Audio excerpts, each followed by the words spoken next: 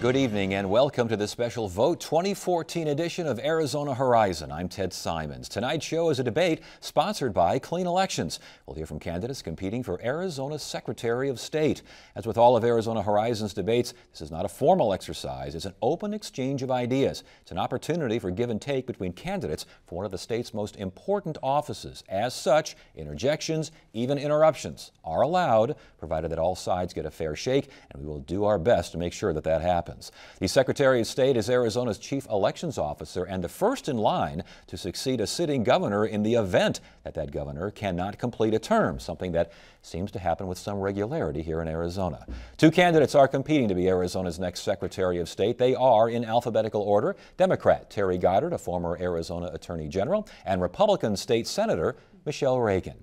Each candidate will have one minute for opening and closing statements. Earlier, we drew numbers to see who goes first, and that honor goes to Terry Goddard. Thank you, Ted, and thank you to Clean Elections for providing this, this discussion opportunity.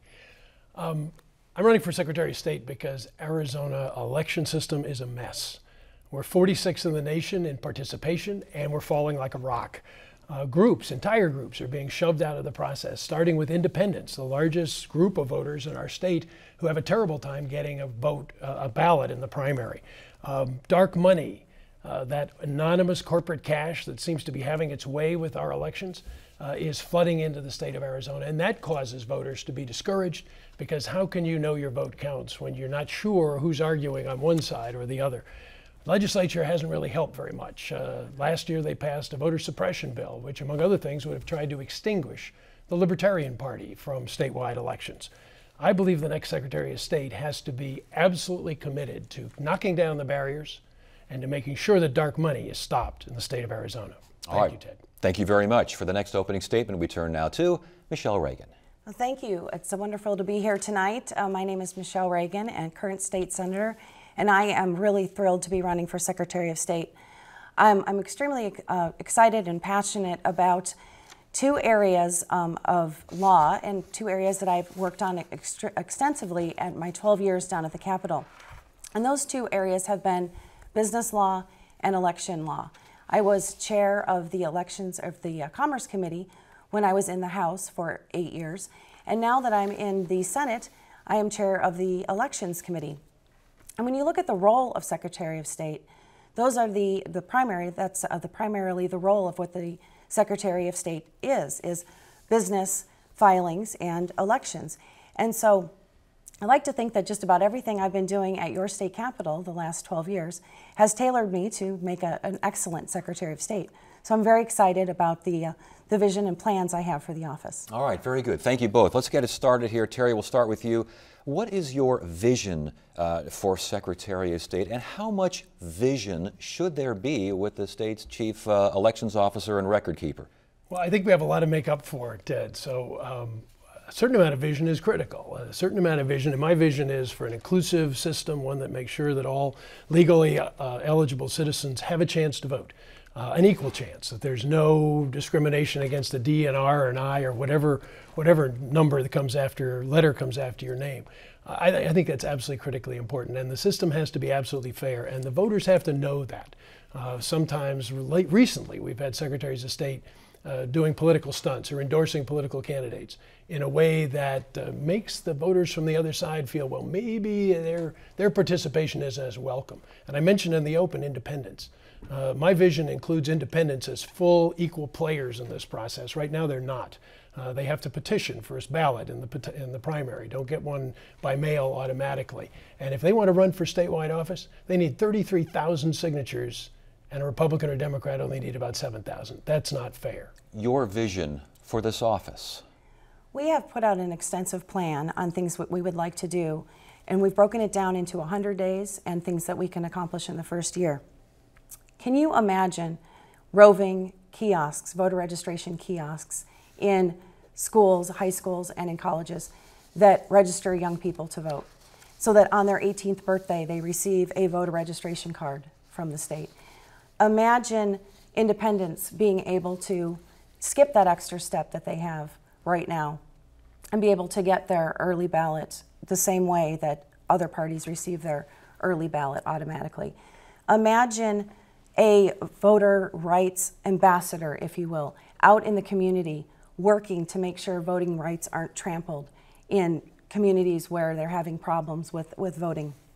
Imagine a system, there's new software out there to allow citizens to be able to verify the vote. There is so much exciting technology, exciting news in the elections world. Uh, and Terry Goddard over here kind of mentioned discrimination and, and, mentioned that being perhaps a problem as far as uh, the election landscape. Do you see that as an issue, as a problem? Well, we see, especially, let's take for example, um, on the Navajo reservation. When we come up with things on the state level or in the, in the county level, and some of it is um, new and interesting stuff, take for example the permanent early voting list. You need to go and then educate people, sometimes in their own language. And when we go and visit other counties and visit other areas, sometimes they don't know about the new tools that are available and access to the um, different ways to vote, only because it hasn't been spoken to them or educated to them in their language. So there's barriers that perhaps we don't know about because people aren't out visiting these communities. You mentioned discrimination. What did you mean? I, I mean very serious discrimination. I mean against students who uh, have to vote a federal ballot. They're treated as second class citizens in the state of Arizona. Uh, I'm talking about independents uh, who, as we've agreed, have to have to petition for a, a ballot every election to vote in the primary, as is their right. Uh, but I'm talking also about other citizens that uh, in, uh, for instance, Senate Bill 1062 was an effort to discriminate against some of our fellow citizens, the gay and lesbian community. It seems to me that's absolutely wrong, and it is something that cannot be reflected in the Secretary of State's office. We have to make a clear statement that this, the office is totally fair, totally calls balls and strikes absolutely equally, and has no partisan uh, or other uh, discriminating factor. And that's not the way it's been played for the last 20 years. That's been, unfortunately, the legislature and the Secretary of State have worked together to set up a system that is, as I said, a mess. You voted for 1062. Why? 1062, bad vote. I mean, I voted for, I've been in the legislature 12 years, Ted. And by my rough calculations, I've cast over probably 10,000 votes. So I think it's kind of a little, probably, I would say, inappropriate and perhaps a little unfair to go through and cherry pick, you know, in a little half an hour program to cherry pick a couple of votes and, and you know, if, but if people, it, what does I would if people think though it's a discriminatory bill and what and, and the, a chair a chair a, a, a chief elections officer elections. wouldn't be fair if they voted for a discriminatory bill, would you think that would be a, not a valid and argument? 1062 would be discriminatory against people voting how? I guess I would. How do you draw the nexus of well, 1062? I don't think it's discriminating the voting people aspect. Voting. It's discrimination and you being a chief. I'm, I'm, talking about your critics here. I'm not. I'm not okay. debating you here. I'm talking about what others are saying, including the, the gentleman across. The, why don't you go ahead and say? Because I don't well, want to take part in the debate. Civil rights is a package, Ted, and, and, and uh, Senator Reagan, um, because I think we know from experience in the in the Deep South uh, in the civil rights era that. Uh, access to a lunch counter and access to an equal seat on a bus and voting rights are all tied up in the same package. So you can't say somebody doesn't get a full set of equal rights in one area and then say, oh, but by the way, it's okay for voting, because it isn't. But, but, but there, there folks, critics on the other side, say the bill was mischaracterized. It, it basically designed to protect religious freedoms, and it really doesn't have anything to do with the Secretary of State's office. Oh, absolutely has everything to do with the Secretary of State's office, because the Secretary of State, if they're not, if the Secretary of State is not making it clear to all the citizens of Arizona that they are going to be absolutely fair in the execution of the voting laws, that every vote is counted and every individual is equal. Um, this, this, the, the message that goes out is going to have what we have today, which is a rapidly decelerating number of people participating because they have no confidence. Let me tell you what system. message is being sent, not today, but right now. The message is being sent is a hyper partisan message and a message of let's take again, one vote, two votes, three votes. You can go through the 10,000 votes and find a couple. And let's blow them up and try to make people angry. And let's try to look backwards. And let's try to upset people. And that's the kind of stuff that turns people off from politics, from public policy, from government. The exact opposite of what a Secretary of State or Secretary of State candidate should be doing. Well, I've never when heard of Legislative When we're talking before. about the Office of Elections, it should be, of all the statewide offices, it should be the least partisan, the least let's go stir the pot office that there is. It should be the Office of Inclusiveness, the one that isn't trying to rally the base or anger and upset people. A hyper-partisan argument on your side. Respond, please. Not partisan at all. I mean, the opposition to 1062 was totally bipartisan. It And was Republicans and do with the Democrats. Office of Courageous members of her party petitioned the governor to veto that bill. Three senators wrote a letter to Governor Brewer saying, You've got to do the right thing and veto what we just voted for. Uh, Senator Reagan was not one of those. Ted. I think basically what we're talking about here is not anything that was, was partisan. It was very bipartisan. Arizonans from every stripe and, and certainly the business community said emphatically, this is a mistake. This is leading us down the wrong road. So I'm not cherry picking anything. I'm saying this is something that unfortunately If the business puts your community was so upset with me, do you clear. think I would be endorsed by every business community probably in our great state? I mean, the Chamber of Commerce, NFIB, the home builders, the realtors, you name it, are all supporting my candidacy. I mean, really, if if the business community was was thinking that I was out to, to destroy business in Arizona, the fact is that 1062 was misunderstood by just about everybody in our state. It was misunderstood by many members of the legislature. It was misunderstood by many in the media. It was misunderstood by a lot of people. I don't know what the intentions of the bill were. The fact is as I have said and it was printed in the paper bad vote. I urged the governor to veto it. I was happy that she vetoed it. That was in the newspaper. We need to move on. This is a very short show. We have a half an hour to explain to voters what we want to do in the Office of Elections. Yes, we do. And that's why we're conducting a debate, and we will continue with that debate. It- Okay? It, would be, you know. Are you okay with that? I would love to talk about Good. elections. Then let's do it. Uh, let's talk about the permanent early voting list. Should people be removed from the early permanent voting list if they're not voting early? Well, I think they need to have, uh, there, there needs to be evidence that they are not going to use this privilege, and it is a privilege. And I side with the county recorders who say we need to have some way, because right now they have no way, to take somebody who is, for instance, medically incompetent.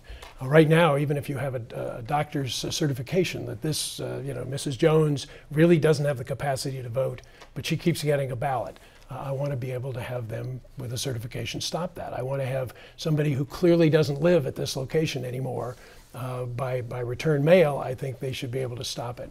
I think to purge somebody automatically for missing some elections, uh, and there's a dispute about how many elections, but the way I read 10, uh, 2063, excuse me, the, the, the 2305, the, the bill that Senator Reagan proposed and passed, uh, was that it would have taken somebody who missed only one election in a sequence of four and put them on the list to be purged. Now that's that's a subject to confusion because it's written so badly. I- i- Is that a good idea for Arizona, removing these people from these permanent early- early voting lists? I think that if people aren't voting and aren't using the early, their early ballots, then yes, they should be removed from the list if they don't vote in a lengthy period of time. So the way that the bill that I wrote was written is if you don't vote in four elections, then you're removed from the early ballot list.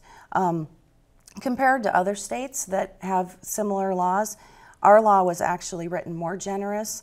Uh, most states that I've looked at, if you miss um, two or one election, you're removed. In some states, um, just missing one election just automatically removes you from the list. And the reason for that is, is they don't want live ballots going to homes where people aren't going to be using them. Instead, that they'd either rather not vote by early ballot, they no longer live there, um, they've moved away. In some cases, um, they're no longer living, um, or they prefer to go to the polls. So there's a reason for that, and people sometimes don't take the time to, to have themselves removed. Ted, our system does purge people who've died. That, that is not a problem in Arizona. And I support evidence based removal from the list. It seems to me that if you're not living there, you shouldn't get a ballot there. If you're medically incompetent, you shouldn't get a ballot. What I don't like is this idea of automatically taking people off the, the, the, list after a relatively small number of missed elections. Uh, independents, in particular, uh, tend to miss primaries, and, and the system that was passed by Senator Reagan's bill could arguably have taken independents off when they missed one primary. I think that's wrong. A, a ban on mass ballot collections. Why is that good for Arizona? This is something I'm really passionate about. Um, I see no reason why any individual, whether it's a candidate themselves, a campaign operative, a party individual, um, myself, you, anybody, should be in possession of an extraordinary number of ballots. And right now, the state law has no limits, no restrictions. You yourself could walk into a polling place on election day with 100 ballots and turn them in.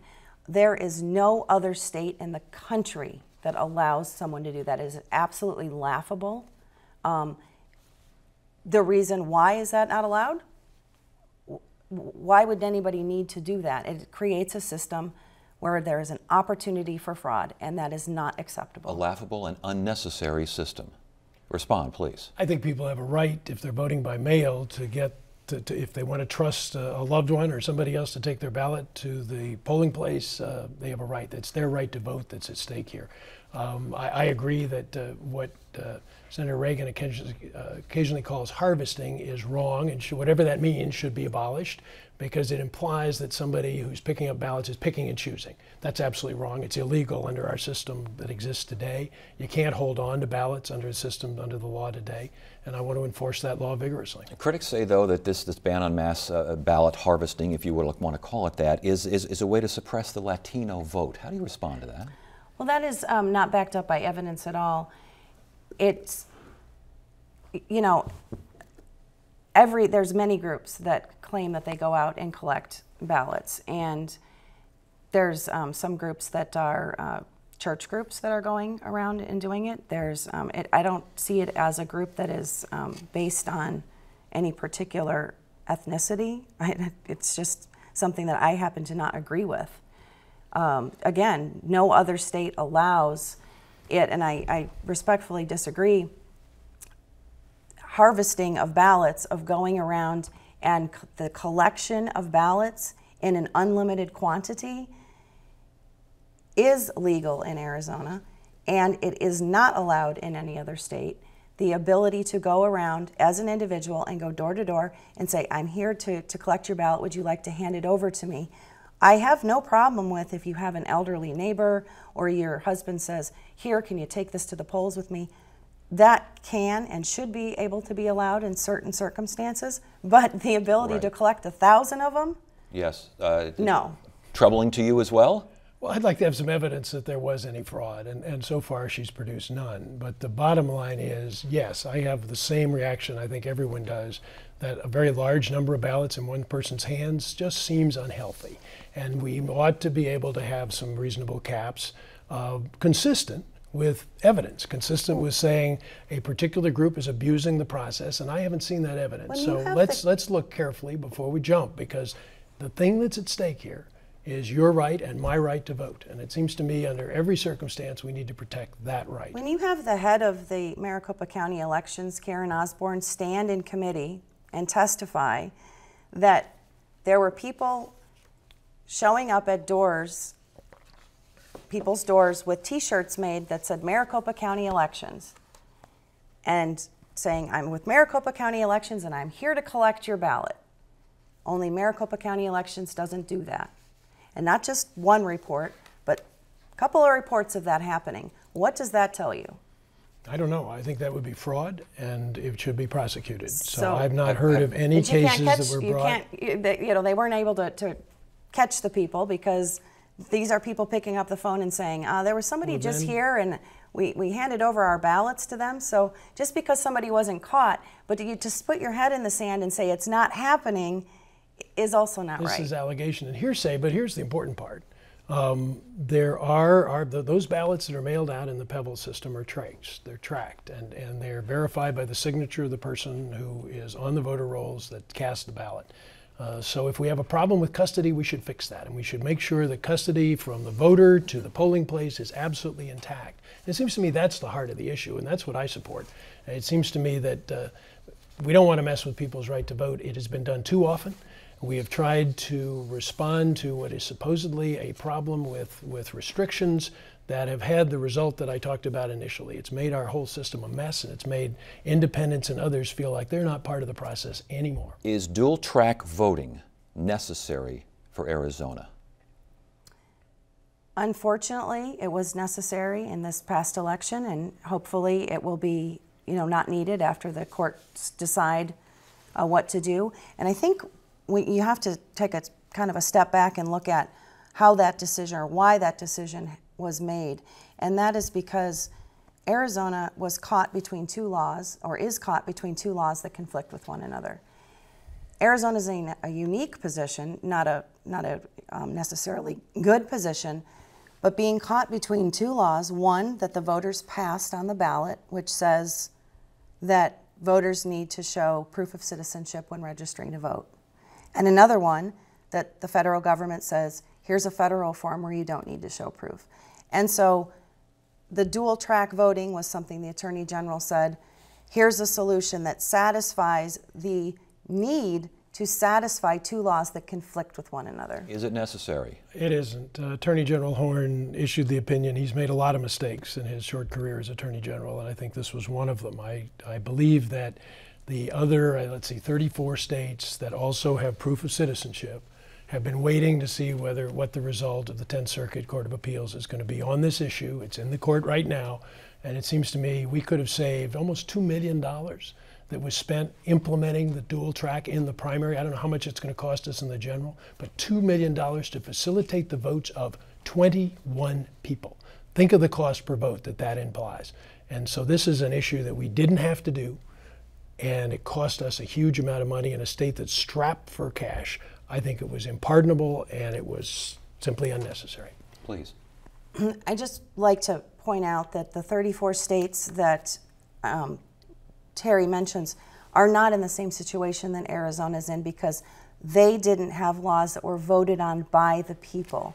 And when we have a law that is voted on by the people, remember that is very important. That is more um, higher standard. It is more important than a law that the legislature passes. And so that's what sets the other two states apart um, from the 34 states. Well, legally, 34 that really states. has nothing to do with it. The question is whether you follow the federal form or the state form. The other 34 states had the intelligence to wait and see what the courts would decide. And Arizona rushed to judgment, uh, put a very expensive system in place. We in Kansas are the only ones that are doing it, and frankly, I don't think we should be following Kansas. I disagree. When the people pass a law, I believe that it is uh, much more important and it is of more importance than when the legislature passes a law. Okay, I think you referred to this earlier. Should the Secretary of State serve as a uh, state campaign chair for other candidates? Unequivocally not. Uh, it seems to me that, and we agree, I believe Senator Reagan and I are, are both emphatic about that. Um, I think Ken Bennett, a very nice guy, very good singer, by the way, um, I think made a serious mistake in being Mitt Romney's state chair for Arizona. And he made a serious mistake by a sort of theatrical effort to investigate the president's birth certificate. I mean, these are the kind of stunts that are unworthy of the office of Secretary of State. I think it needs to be as close as we can get it to being totally fair and totally nonpartisan. You agree with that? I completely agree that um, you should keep campaigning out of the Secretary of State's office. Okay, um, last question here. We're getting close to closing statement time. Our little half hour show is almost over. Um, are you qualified to be governor? I believe I'm qualified to do wherever I uh, end up serving. I will, I, wherever I'm called on to serve, I will be absolutely qualified given all the experience I've had in the legislature and then also my private sector experience that I've had growing a family business before the legislature. And that includes governor of Arizona. Absolutely. If I was called on to serve as governor, I would be just fine. it would Uh, it would be tough, eh, but I would I would be fine. Drawing on all that experience that I had walking the halls of the Capitol and growing a small business. Are you qualified to be governor of Arizona? Yes, sir, I believe I am. How come? Well, as mayor of Phoenix, I had to meet a budget and work with the council and put together a, a very difficult situation, and we made it work. Uh, as Attorney General, I represented all the agencies, but I think five in the state government. So I know their innermost thoughts, and I also know their problems.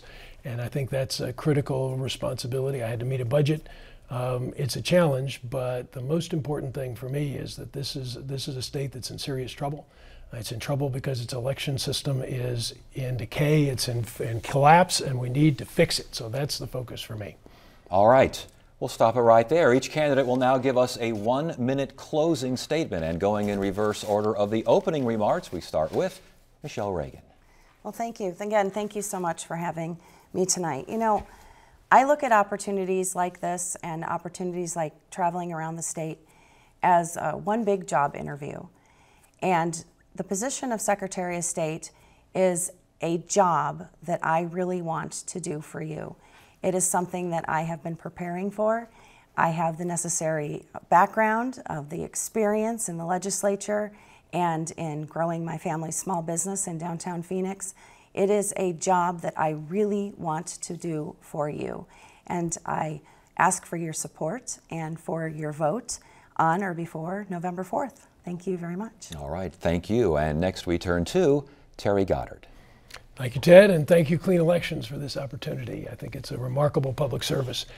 You know, as I think about the, the problems that we've talked about here today, that Arizona is facing, the, the, the lack of trust and the folks dropping away from our election system, I'm reminded of a similar problem that many of us faced in the city of Phoenix almost 30 years ago. Um, in those days, a small group controlled the city, uh, and the citizens felt that they were not part of the system. In fact, big parts of Phoenix had never been represented on the city council. A small group of us decided we cared so much about our city, we wanted to try to change it. And we passed the district system, which replaced the at large council with the district council. And we literally blew down the doors of City Hall and brought citizen participation to a new high. Uh, that was an explosion of people being involved in their city. And I believe the state needs exactly that same formula and can, in fact, profit from the same kind of experience. I've had it, and I solicit your support and your vote for Secretary of State. Thank you very much. All right, thank you. And thank you for watching the special Vote 2014 Clean Elections debate featuring candidates running for Arizona Secretary of State. Arizona Horizon's next debate will be tomorrow, October 8th, when we hear from candidates in the race for Congress in Arizona's 7th Congressional District. As a reminder, if you would like to watch tonight's debate again, this or any debate we have here on Arizona Horizon, and we got a bunch of them, you can check us out on the web, azpbs.org slash horizon. That's azpbs.org slash horizon. That is it for now. I'm Ted Simons. Thank you so much for joining us. You have a great evening.